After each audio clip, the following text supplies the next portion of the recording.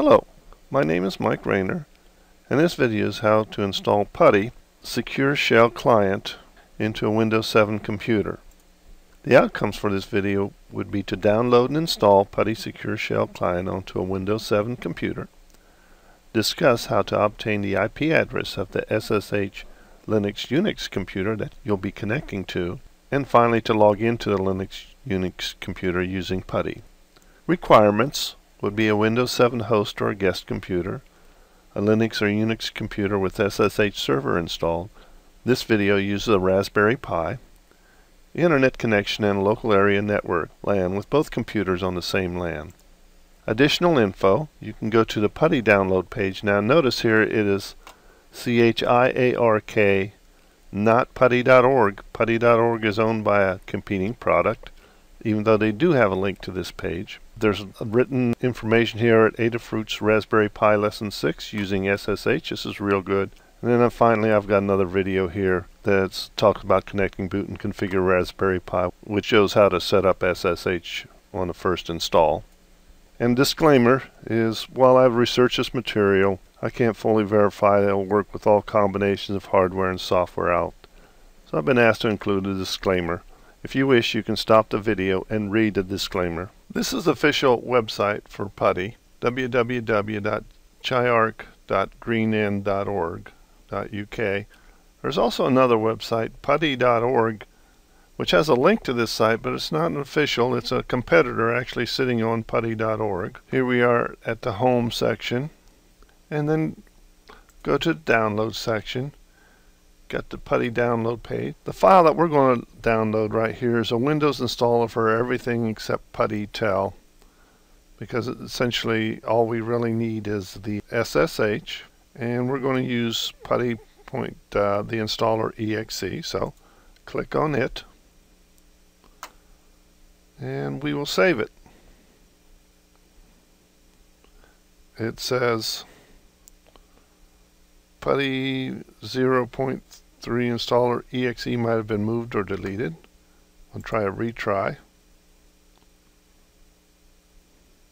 It seems to be working. Let's go view the downloads. And there it is. Let's just click on run.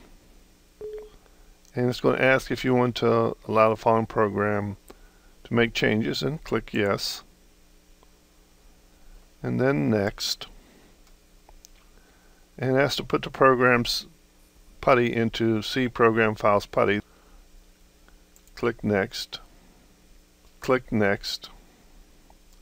And here it says do you want to create a desktop icon for PuTTY? I'm going to say yes.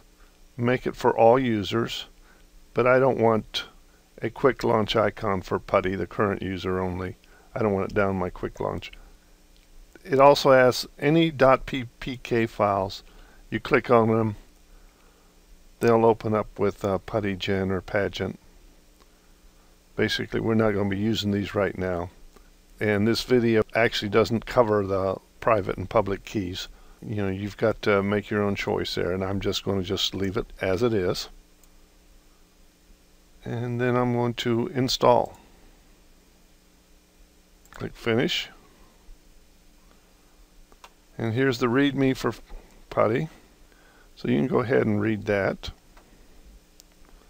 I'm going to click Close right here.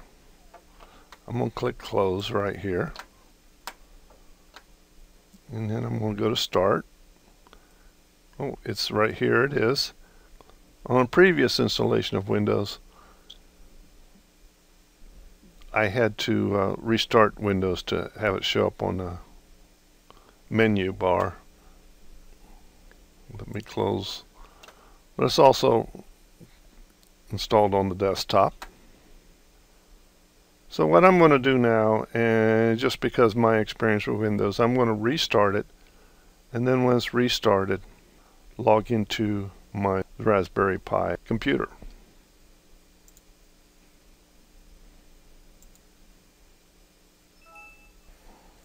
One way to find the IP address of pretty much any Linux or Unix or uh, in this case Raspberry Pi computer is to go to the terminal. In this case I'm using Raspberry Pi so I click on the terminal open it up what I'm going to do here is change my preferences make the font a little bit bigger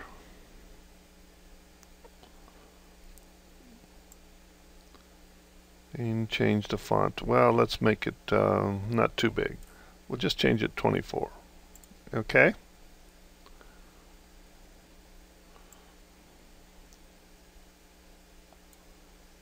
Close this.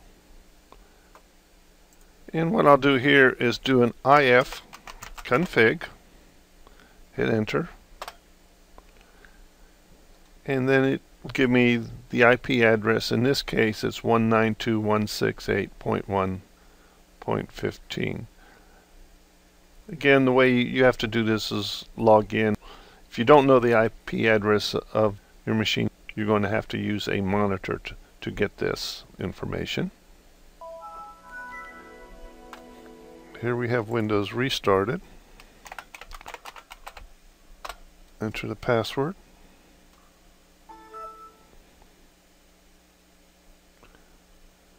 Go to all programs here and here's PuTTY.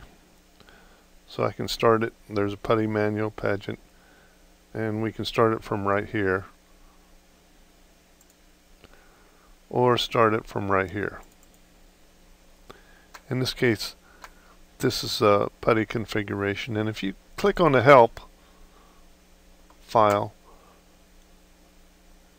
you'll get a pretty uh, extensive help manual with a lot of uh, information that you go through it as you use PuTTY.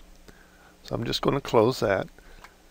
And basically I've found the host name uh, or the IP address. There is I, I'm not using any host names because I don't have a domain name server on this network and it's 192.168.1.15 port number should be 22 for SSH this is SSH and if you want to save the settings you can put a name here and then click save and you'll have to do that before you start anything because after you exit from the Raspberry Pi computer or whatever Linux or Unix system you're using, the close window on exit is going to be, it'll close if you have a clean exit. So we'll go ahead and open the connection. And the first time that the connection is opened, you're going to get the server's host key cached in the registry. That is the Windows registry. That's where PuTTY puts the host key and then you know you can gives you this if you want to have this information we'll just click yes and we'll log in in this case since I'm using Raspberry Pi I, this is insecure I'm using default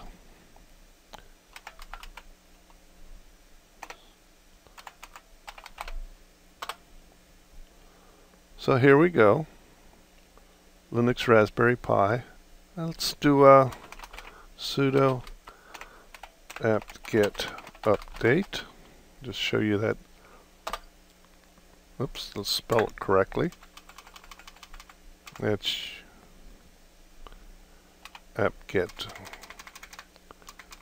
update.